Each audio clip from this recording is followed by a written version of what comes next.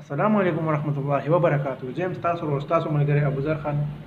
او نن به ستاسو یو داسې شخصیت سره ملاقات کوو چې چې نوم یې دی شاسوار شاه صاحب ټول به یې پېژنئ امید دی او هغې نه به د ژوند په هکله تپوسونه کوو شاسوار صاحب سلامونه او په اوله کې راته دا ووایئ چې ستاسو ژوند څنګه لومړني وخت کې څنګه تېرېدو او ستاسو تعلق د کوم ځای دی او ستاسو کار لومړنی څه او څه مو څه شوق مو څه سره وډېر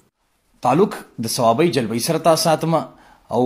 وخت مې ژوند مې په کراچۍ کې کړی دی او بیا مې شوق چې کوم دی ډیر زیات د تعلیم نه د فن سره پیدا شو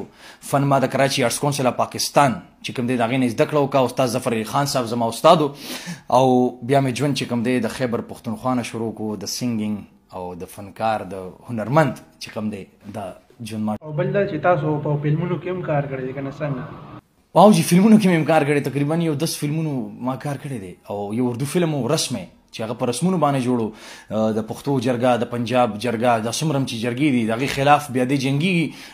رسمه او زپه کې بیا د جرمني ناراضمه او یو ډیر لوی فلم خو بیا هغه سره سره ما الله رب العزت راته توبه توفیق را او سمره وخت تاسو دې پن سره تیر کړی ونیم کال چې ما تیر کړ او اوس تاسو عمر څوره دی ټول عمر جی زما تقریبا شپږیش ساله دی شپږیش کاله دی شاهسوار صاحب آیا تاسو د تیر ژوند بسې خپل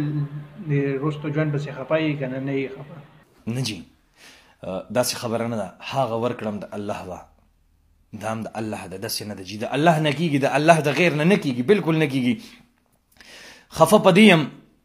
چې ډیر ضایع او ډیر فضول وخت مې تیر کړی دی داسې نه ده چې فن ته کنزا کوم داسې نه ده چې فنکار ته کنزا کوم داسې نه چې ته بد وایم خو بس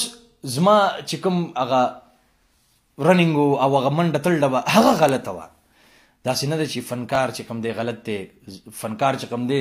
زما بچو ته زما را روان کول ته ډیر خخ خخ سبق خای دا سینه دا دا شاعران چې کوم دی دا اشعار چې لیکي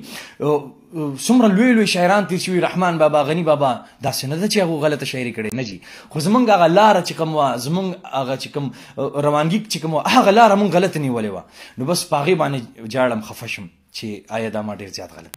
اوس هم تاسو سره ستاسو مینوال در هغه عمره مینه کوي چې څنګه یې سره مخکې کوله. او د هغې نه زیاته څوک راته قاري صیب وایي څوک راته مولوي صیب وایي څوک راته امیر صیب وایي ډیر زیات خوشحاله شم په دې. ایا تاسو د نورو هنرمندانو ته توقع لرئ چې دوی هم د تبلیغ کار ته راشي که نه؟ یاره جی ټولو نه لوی امید خو رحیم شاه دی جی ماشاءالله د څلورو میاشتو اراده یی کړی ده او ډیره په خیر ادا یې کړې ده انشاالله یو پراجیکټ دی و چې دا مکمل شي انشاالله زه به د الله لارې ته راځم زه به دا هر څه پریږدم. ښه قدرمنو دا مونږ سره و چې شاه صاحب او د هغوی د ژوند په هکله مو ترې څه تپوسونه وکړو او اوس مونږ له اجازت راکړئ که دا ویډیو خوښه شوې لایک شیر سبسکرایب کړئ او د نوي ویډیو پر د خپل ځان ډېر ډېر خیال ساتئ چې چرته هم اوسئ خوشحاله اوسئ د لوی الله په